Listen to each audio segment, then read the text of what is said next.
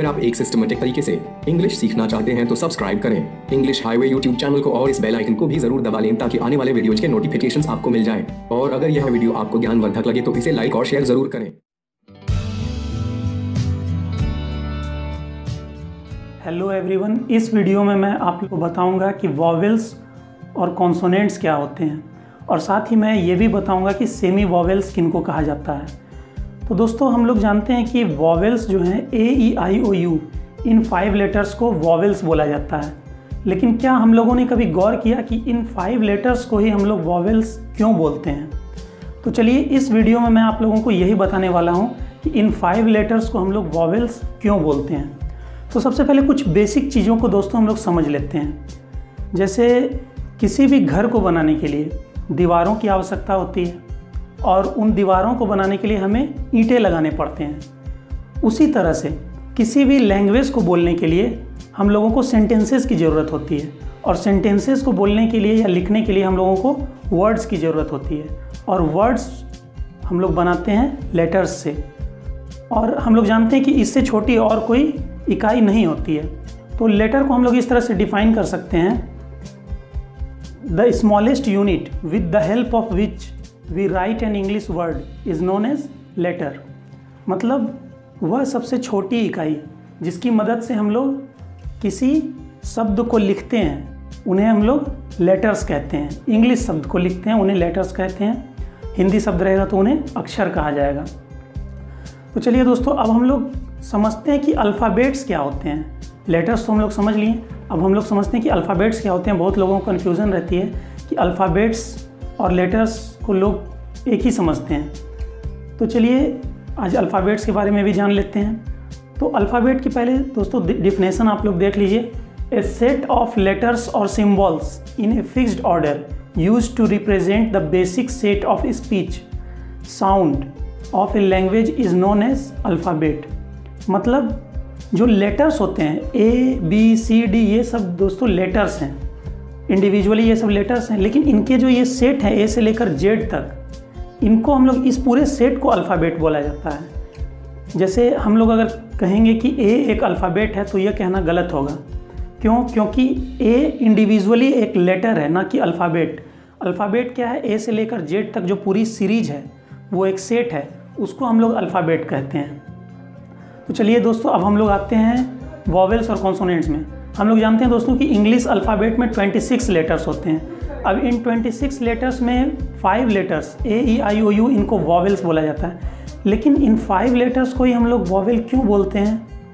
तो ज़रूर इनमें कुछ विशेषता होगी जो कि इनको वॉवेल्स बनाती है और बाकी बचे हुए 21 लेटर्स में कुछ अलग विशेषता होगी जो उन्हें कॉन्सोनेंट्स बनाती है। तो चलिए इसी चीज़ को हम लोग समझते हैं। तो दोस्तों आप गौर कीजिएगा वॉवेल्स मतलब हिंदी में होते हैं स्वर। हिंदी व्याकरण के अगर दृष्टिकोण से देखें हम लोग तो वॉवेल्स मतलब स्वर और कॉन्सोनेंट्स मतलब व्यंजन। स्वर किनको कहा जाता है? स्वर जो हम लोग गले की सहायता से बोल सकते हैं, सिर्फ़ गले का प्रयोग करके हम लोग बोल सकते हैं। जैसे देखिए दोस्तों, मेरे एक्सप्रेशंस पे ध्यान दीजिएगा। हालाँकि इनका प्रोनाउंसिएशन करने में मेरे एक्सप्रेशंस थोड़े अजीब लगेंगे, लेकिन ये बताना थोड़ा ज़रूरी है। तो मेरे एक्सप्रेशन पे ध्यान दीजिए, जो जब मैं इन फाइव लेटर्स वॉवल्स का प्रोनाउंसिएशन करूँगा तो वो सिर्फ़ गले की मदद से किया जा सकता है। जैसे देखिए, ए, ई, आई, ओ, यू, इन सब का जो साउंड निकला है, ये सिर्फ़ गले से निकला है। अब जो कॉन्सोनेंट्स में आते हैं, जैसे आप लोग कोई भी कॉन्सोनेंट ले लीजिए बी ले लीजिए सी ले लीजिए डी ले लीजिए, इनका प्रोनाउंसिएशन करके देखिए, इनका उच्चारण करके देखिए। बी बी बोलने के लिए हमें होठों को सटाना पड़ा।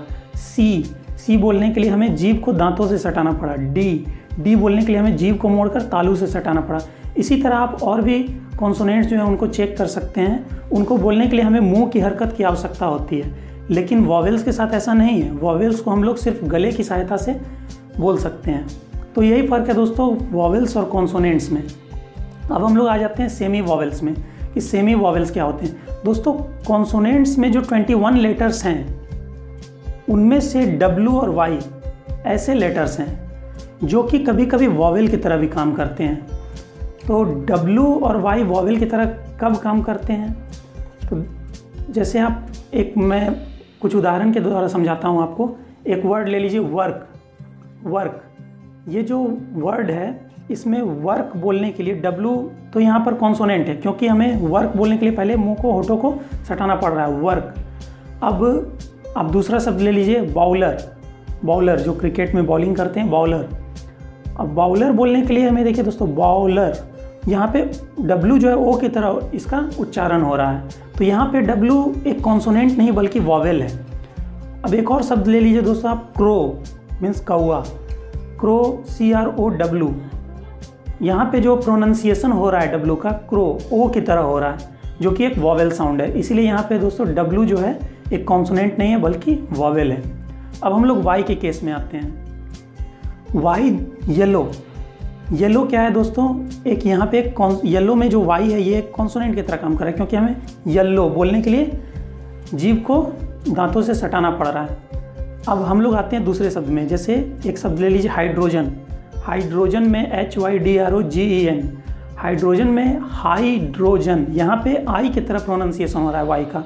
जो कि एक वॉवेल साउंड है, इसलिए यहाँ पे वाई दोस्तों कॉन्सोनेंट नहीं है, बल्कि वॉवेल है। अब एक और शब्द हम लोग ले लेते हैं busy B U S Y busy busy में जो वाई है बीजी यहाँ पे ई की तरह काम कर रहा है बीजी ई की तरह काम कर रहा है, जो कि एक वॉवेल साउंड है, इसलिए यहाँ पर भी दोस्तों वाई जो है, एक कॉन्सोनेंट साउंड ना होकर वॉवेल साउंड है। अब दोस्तों ये जो वर्ड्स मैंने बताए हैं, आप इन सब में गौर, इन सब में गौर करके ये कंक्लूजन निकाल सकते हैं। कि जब भी डब्ल्यू और वाई किसी भी वर्ड के शुरू में आते हैं, तब ये कॉन्सोनेंट्स होते हैं। और जब भी ये किसी भी वर्ड के बीच में या लास्ट में आ रहे हैं, तब ये वॉवेल्स होते हैं। तो आप इन एग्जाम्पल्स पे गौर करके आप लोग इस बात को समझ सकते हैं। तो दोस्तों, मुझे लगता है कि अब आप लोग समझ चुके होंगे कि वॉवेल्स कॉन्सोनेंट्स में क्या अंतर है और सेमी वॉवेल्स